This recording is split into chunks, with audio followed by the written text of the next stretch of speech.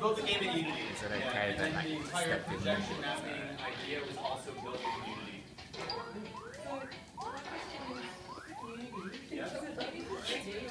I've set up this rig Yeah, you basically make objects that are just flat planes. So, uh, if you hit, why don't we figure out who you do? So anyone goes, why don't you move yours? So you're yellow, and you are you're blue, You're blue, and who are you?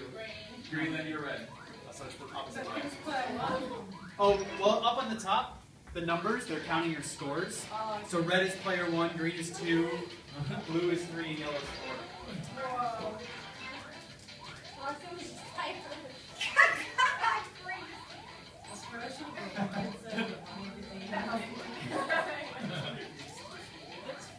Jump on people's heads to stun them?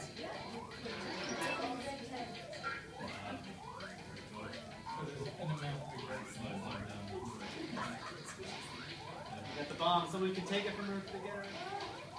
Nope.